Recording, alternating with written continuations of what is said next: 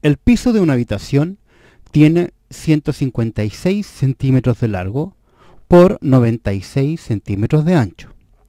Se debe cubrir con cerámicas cuadradas y del mayor tamaño posible. ¿Cuál será la dimensión aproximada de estas cerámicas para no tener que romper ninguna con la instalación? Este es un problema típico de máximo común divisor y su aplicación. Cuando uno necesita comprar cerámicas, tiene el problema que no sabe qué tipo de cerámicas escoger en su tamaño.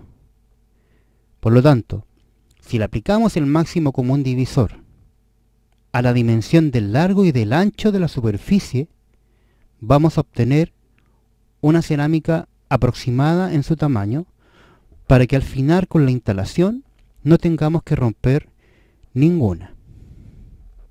Por lo tanto decimos, vamos a calcular el máximo común divisor entre 156 y 96 por el método de la tabla. Ubicamos 156 y el 96 y decimos, dividimos 2 nos da 48. Dividimos por 2, nos da 24. Al dividir por 2, nos da 12. Al dividir por 2, nos da 6.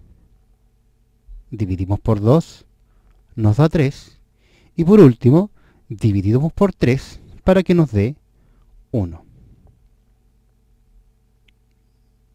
Entonces, los factores primos del 96 son 2 por 2 por 2 por 2 por 2 y por 3. Ahora hacemos lo mismo con el número 156. Dividimos por 2 y obtenemos 78.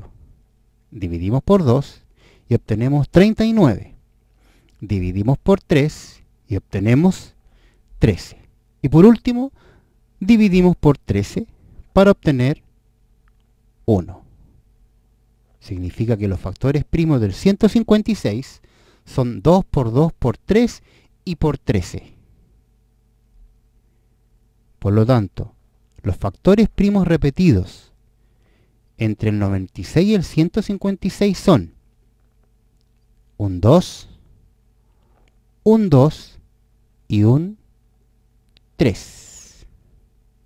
Lo que significa que el máximo común divisor se obtiene como 2 por 2 por 3, lo que me da 12. Por lo tanto, la dimensión de la cerámica será de 12 centímetros por 12 centímetros.